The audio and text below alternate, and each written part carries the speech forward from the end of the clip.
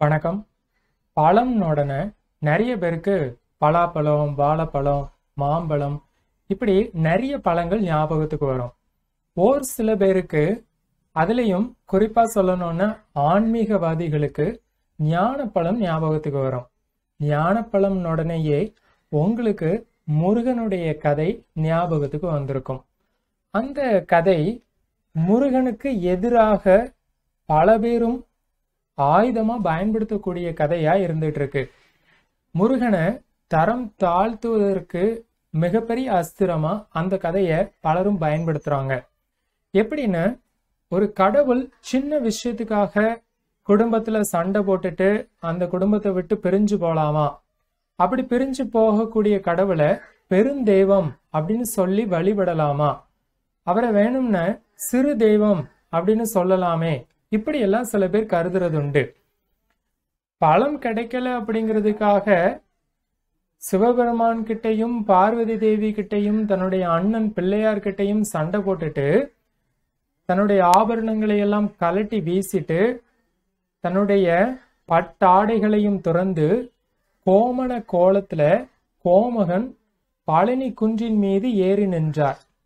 ஒரு உயர்ந்த தெய்வம் இந்த மாதிரி எல்லாம் கீழ்த்தரமான செயலை செய்யலாமா? இப்படி எல்லாம் சில பேர் கேட்கறது உண்டு. நாம முதல்ல அந்த கதையை ரொம்ப சுருக்கமா பார்த்துட்டு இந்த வினாக்களுக்கான விடைய நாம தத்துவார்த்த ரீதியா தேடி பார்ப்போம்.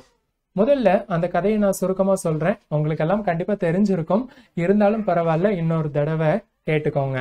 அப்பதான் நாம அந்த வினாக்களுக்கு சரியான விதத்துல பதில் தயாரிக்க முடியும். பதில் தேட முடியும். சரி இப்போ அந்த கதையை பார்க்கலாம். நாரதர் சிவலோகத்துக்கு வாரார். கையில ஒரு பழத்தோடு. என்ன நாரதரே கையில வச்சிருக்கிறது என்ன பழம்? அப்படின்னு தெரிந்தும் தெரியாதது போல கேட்கிறாரு சிவபெருமான். நாரதர் உடனே சொல்றாரு எம்பெருமானே இது உங்களுக்காக அடியேன் கொண்டு வந்திருக்கக்கூடிய ஞான பழம் இத என்னுடைய காணிக்கையாக நீங்கள் பெற்றுக்கொள்ளுங்கள். அப்படின்னு கேட்கிறார் சிவபெருமானுக்கு தெல்ல தெளிவா புரிஞ்சு போச்சுது. நாரதர் கலகம் உண்டாக்குறதுக்காக தான் பழத்தோடு வந்து சேர்ந்திருக்கிறார்னு. சரி நாரதருடைய கலகம் எப்பவுமே நன்மையில் தானே முடியும்.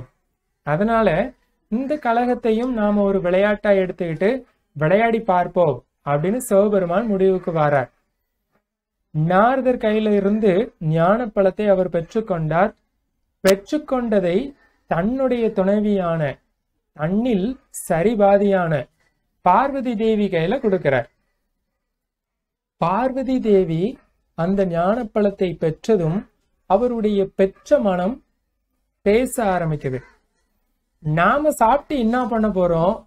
நம்ம குழந்தைகள் அல்லவா சாப்பிடணும். அவங்க சாப்பிட்டாதான் நமக்கு சந்தோஷமா இருக்கும். அப்படின்னு தாய் ஸ்தானத்துல பார்வதி தேவி யோசிக்கிறாங்க.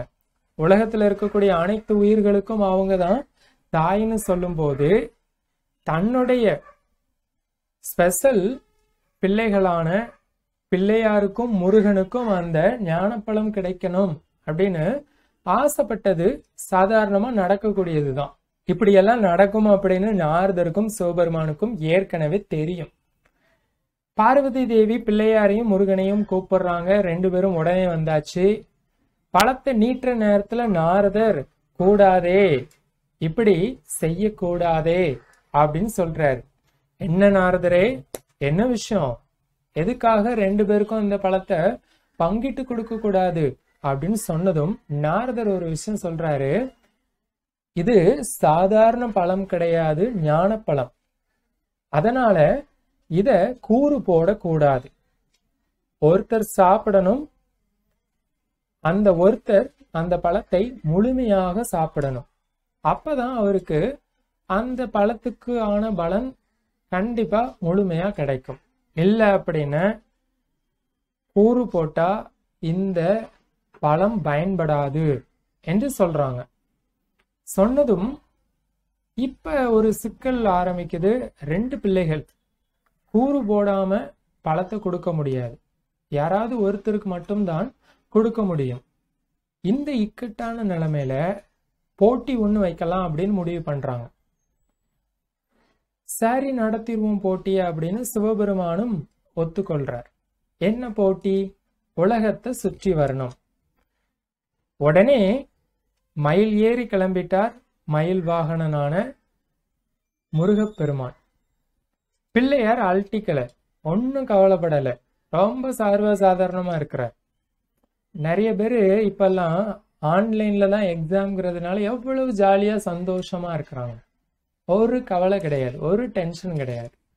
கிட்டத்தட்ட அதே மாதிரியான மனநிலையில பிள்ளையார் இருக்கிறார்.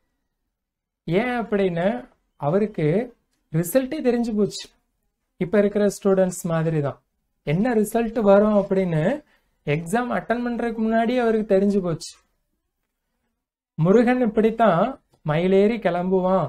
தம்பி அப்படித்தான் அப்படின்னு பிள்ளையாருக்கு ஏற்கனவே தெரியும். தம்பியும் பிள்ளையார் நினைச்ச மாதிரி கிளம்பி போயிட்டான். இனிமே என்ன? பிள்ளையார் தன்னுடைய புத்தி சாதுரியத்தை பயன்படுத்தி அந்த பழத்தை வாங்க வேண்டியது தான் பாக்கி. அதை தான் செய்கிறார் ரொம்ப அருமையான ஒரு விஷயத்தை இந்த உலகத்துக்கு இந்த இடத்துல அவர் எடுத்து சொல்கிறார் தன்னுடைய தாயையும் தகப்பனையும் சுற்றி பழத்தை கொடுங்க அப்படின்னு கேட்குறார் அவங்க எல்லாம் என்னப்பா இது? தம்பி வேர்வை சிந்தி கஷ்டப்பட்டு பூமியை சுத்திட்டு இருக்கிறான்.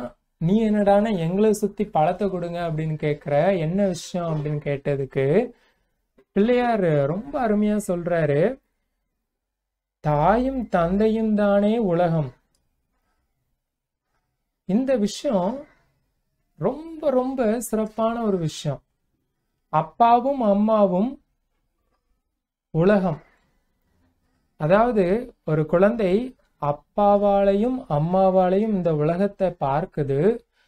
இந்த உலகத்தை முதல் முதல் அப்பாவாலும் அம்மாவாலும் அறிந்து கொள்ளுது. இந்த உலக வாழ்க்கையில் அந்த குழந்தை இருக்குது வளருது வாழுது பல வெற்றிகளை பெறுது.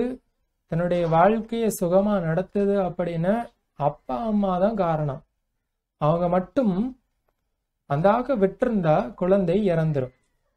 நாம மிருகங்கள் மாதிரி கிடையாது மனித குழந்தைகள். அதனால நம்மளை கவனிக்கிறதுக்கு ஆள் இல்லை அப்படின்னா நாம எப்பவோ போய் சேர்ந்திருப்போம். அதனால ஒரு குழந்தைக்கு அப்பாவும் அம்மாவும் தான் உலகம். சிவபெருமானையும் பார்வதியும் எடுத்துக்கிட்டா பிள்ளையார் இன்னும் ஒரு குழந்தை மாதிரி தான் அதனால பிள்ளையார் ரொம்ப அழகா சொல்லிட்டாங்க நீங்க தான் எனக்கு உலகமே.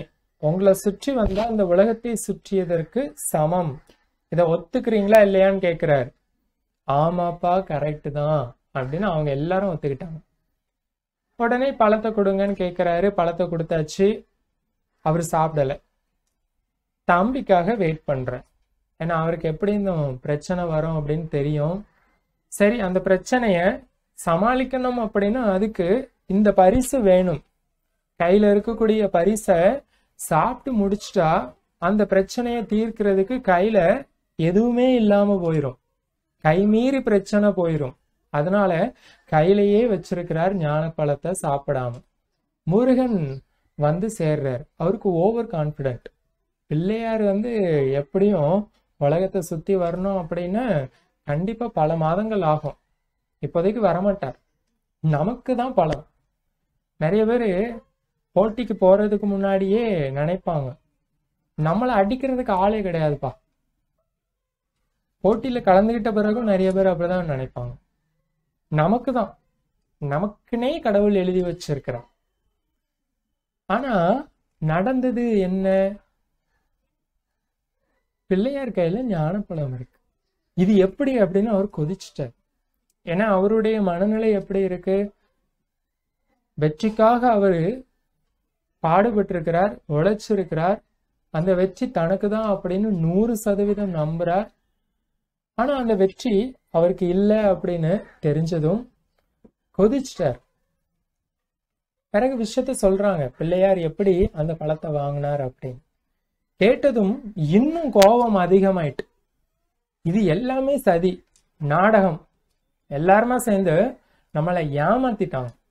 நீங்க யோசித்து பாருங்க சாதாரண மனிதர்கள் தங்களுடைய வாழ்க்கையில எதை உயர்வா நினைக்கிறாங்களோ எதுக்காக பாடுபட்டுட்டு இருக்கிறாங்களோ எதுக்காக வியர்வை சிந்துறாங்களோ இரவும் பகலும் எதை நோக்கி ஓடிட்டு இருக்கிறாங்களோ எதுக்காக தன்னுடைய இதயத்தை ஒட்டுமொத்தமா அந்த விஷயத்துல ஆழ்த்தி தன்னுடைய நேரத்தை எல்லாம் செலவழிச்சு போராடிட்டு இருக்கிறாங்களோ அந்த விஷயம் கிடைக்கல அப்படின்னா அவங்களுக்கு எவ்வளவு கஷ்டமா இருக்கும் எவ்வளவு ஏமாற்றமா இருக்கும் மனசுக்குள்ள எந்த அளவுக்கு வலி இருக்கும்.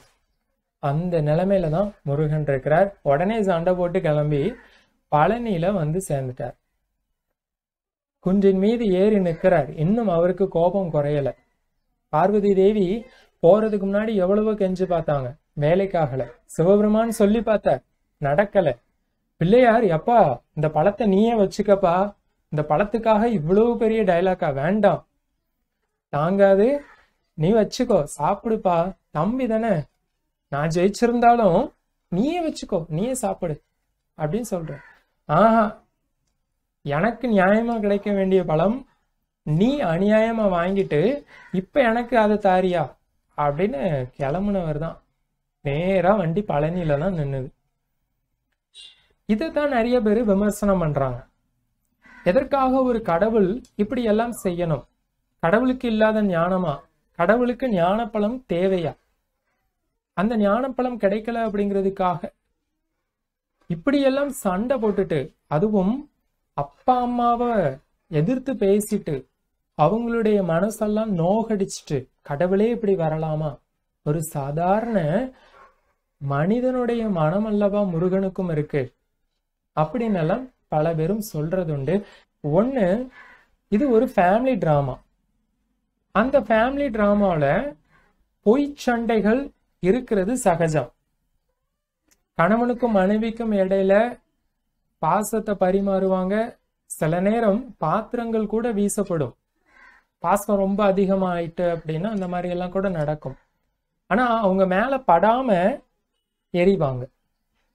ஒருவேளை குறிப்பார்த்து எரிஞ்சது தப்பா போயிருக்குமோ என்னவோ அது சில குடும்பங்கள்ல இருக்கும். பொய் சண்டை போடக்கூடிய குடும்பங்கள்ல ஊழல் காரணமா சண்டை போடக்கூடியவங்க அன்பு இருக்கு. ஆனா கொஞ்சம் போல விளையாட்டு கலந்த வம்பையும் செய்து பார்க்கணும் அப்படின்னு ஆசைப்பட்டு விளையாடக்கூடிய குடும்ப தம்பதியினர் இந்த மாதிரி எல்லாம் செய்யறதுண்டு சும்மா சில வார்த்தைகளை சொல்லி சண்டை போடுவாங்க. கோபத்துல இருக்கிற மாதிரி நடிப்பாங்க. இது எல்லாம் ஒரு அன்பு சார்ந்த விளையாட்டு. அதே போலதான் இங்க அண்ணன் தம்பிக்குள்ள ஒரு அன்பு சார்ந்த விளையாட்டு. இத சாதாரணமா நம்ம நினைச்சுக்க கூடாது. ஒரு சாதாரண ஒரு குடும்பத்தை எடுத்துக்கிட்டு அந்த குடும்பத்துல பல பிரச்சனைனால பிரிஞ்சு போற மாதிரி நினைச்சுக்க கூடாது. சாதாரண குடும்பத்துக்கும் தெய்வீக குடும்பத்துக்கும் உள்ள வித்தியாசம் ரொம்பவே அதிகம்.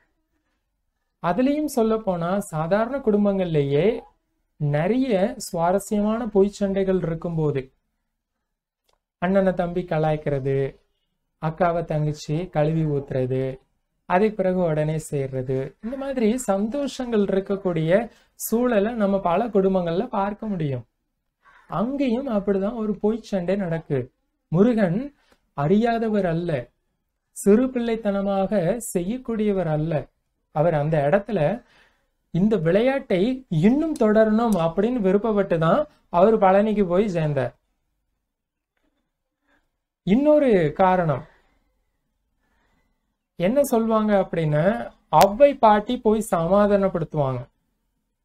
நீயே ஒரு பழம் உனக்கு எதற்கு பழம்? நீயே ஞானத்தின் உரு பிறகு உனக்கு எதற்கப்பா ஞான பழம் இதற்காகலாம் சண்டை போடலாமா? இது இறைவனின் திரு விளையாடல் தானே அப்படின்னு சொல்லுவாங்க. அப்ப இறைவனுடைய திரு விளையாடல்களை எல்லாம் அவ்வையுடைய வாய்ச்சொற்கள் மூலமா கேட்கணும்னு ஆசைப்பட்டு ஒவ்வொன்றா கேட்டு தெரிஞ்சுப்பார். அவையெல்லாம் திருவிளையாடற் புராணத்துல இருக்கு. அந்த தேவ செயல்கள் அனைத்துமே மனிதர்களுக்கு நன்மை விளைவிக்கக்கூடியவைதான். மனிதர்கள் சுகமா இருக்கணும் அப்படின்னா இறைவனுடைய திருவிளையாடல்களை தெரிந்து கொள்ள வேண்டும் இறைவனுடைய மனதை புரிந்து கொள்ள வேண்டும் என்பதற்காகத்தான் இந்த மாதிரியான ஒரு நாடகத்தை ஆடி அவ்வை மூலமாக பலவற்றையும் தான் தெரிந்து கொண்டதன் மூலமாக மற்றவர்களுக்கும் அந்த செய்திகளை தெரியப்படுத்துறார். சரி இதை சிவலோகத்துல இருந்தே சுகமா கேட்டு தெரிஞ்சுக்கலாமே அப்படின்னு நினைச்சா இங்கதான் கவனிக்க வேண்டிய ஒரு விஷயம். பழனியில நின்னு கேட்கிற அதாவது இந்த மண்ணுலகில் வந்து இறங்கி அந்த திருவிளையாடல்களுடைய கதைகளை எல்லாம் கேட்கிறார் இந்த மண்ணில் இருக்கக்கூடிய மண்ணில் வசிக்கக்கூடிய மனிதர்கள் இங்க இருந்த அந்த திருவிளையாடல்களை எல்லாம் உணர்ந்து கொள்ள வேண்டும். அப்போதுதான் விண்ணுலக வாழ்க்கை கிடைக்கும் அப்படிங்கிறத அறிவுறுத்துறதுக்காகத்தான் விண்ணிலிருந்து இறங்கி மண்ணுக்கு வந்து அந்த கதைகளை எல்லாம் கேட்கிறார். அதுவும் எப்படி கேட்கிறாரு? கோமண கோலத்தில் கேட்கிறார். இதுக்கு அர்த்தம் என்ன அப்படின்னு நம்மை எளிமைப்படுத்தி கொண்டால் நமது மனதை தூய்மைப்படுத்தி கொண்டால் இறைவனை புரிந்து கொள்ளலாம்.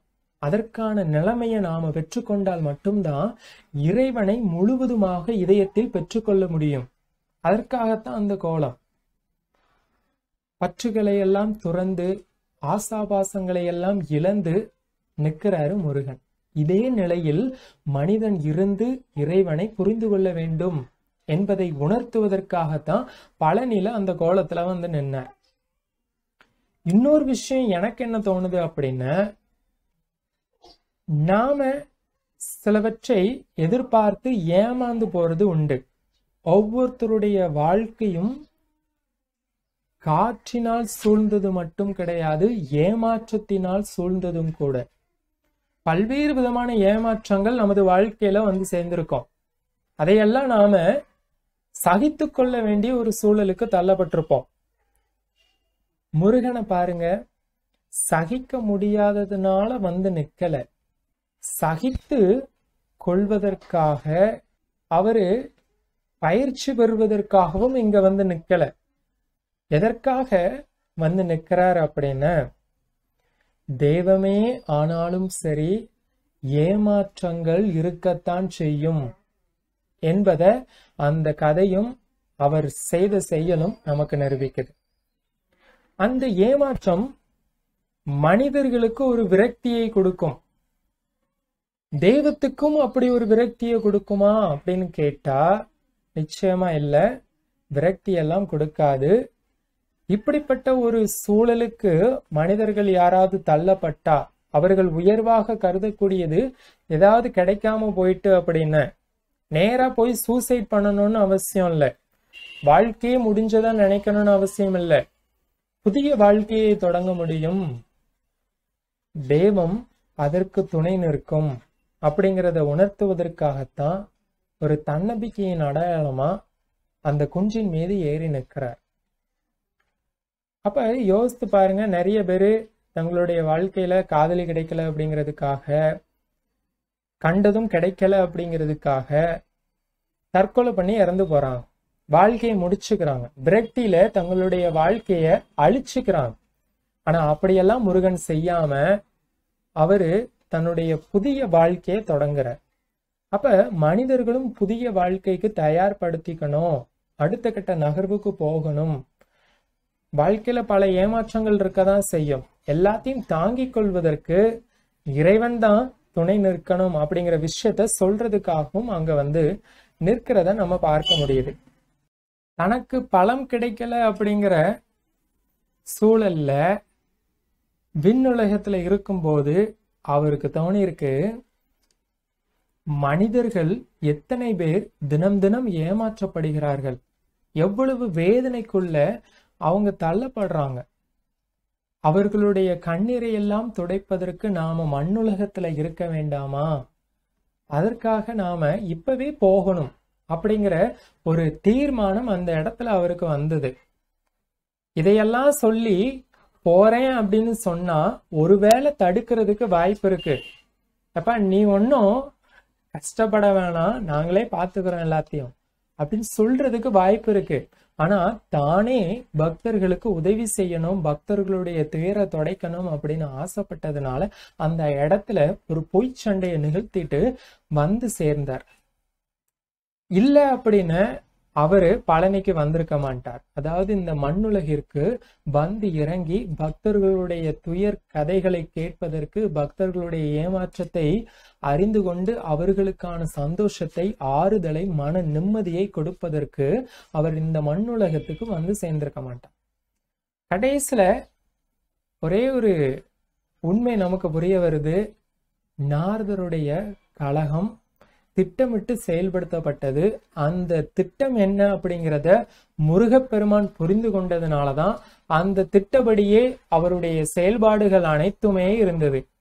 எல்லாமே ஒரு நாடகம்தான் அப்படின்னு நாம இந்த கதை மூலமாக புரிந்து கொள்ள முடியுது. இந்த நாடகத்துல பல பேரு தெரியாம நடிக்கிறது உண்டு. சில பேரு மட்டும் தெளிந்த மனதோடு தெரிந்து கொண்டே தன்னையும் ஒரு பங்கா அந்த நாடகத்துல வச்சுக்கிறது உண்டு. ஷேக்ஸ்பியர் சொன்னாரு வாழ்க்கை ஒரு நாடக மேடை அப்படின்னு. ஆனால் அதற்கெல்லாம் முன்பு நமது இந்திய தத்துவம் நமக்கு உணர்த்தியிருக்கு வாழ்க்கை என்பது ஒரு நாடகம்தான். இதில் சோக காட்சி வரும் விளையாட்டு இருக்கும் சந்தோஷமும் கண்டிப்பாக இருக்கும்.